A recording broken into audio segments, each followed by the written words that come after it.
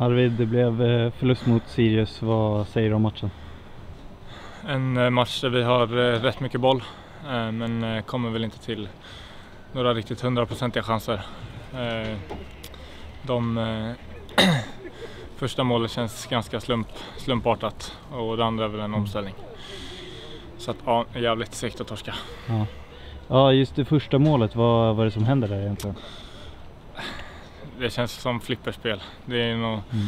något skott som jag tror jag touchar den och så tar Ogge returen ut och så glider jag ihop med honom och så, nej, jag vet fan. Okay. Oklart mål, ja. men ja, det är som det uh, Och i andra halvlek uh, känns som vi trycker på lite och ändå är igång och sen kommer en kontring och så är det 0-2 i baken. Ja, exakt. Hur, uh, hur ser man på den situationen där och då? Nej, det är svårt att säga så mycket nu. Mm.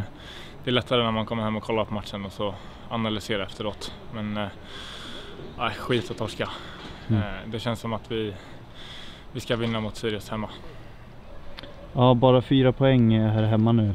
Det, det är något som inte, vad är det som inte stämmer? ja, om jag visste det. Eh, ja. Jäkligt svårt att svara på.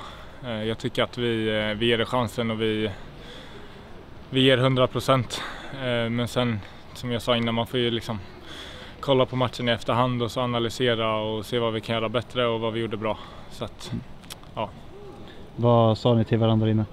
Inte så mycket. Ganska deppigt såklart. Ja. Nya tag på lördag? Absolut.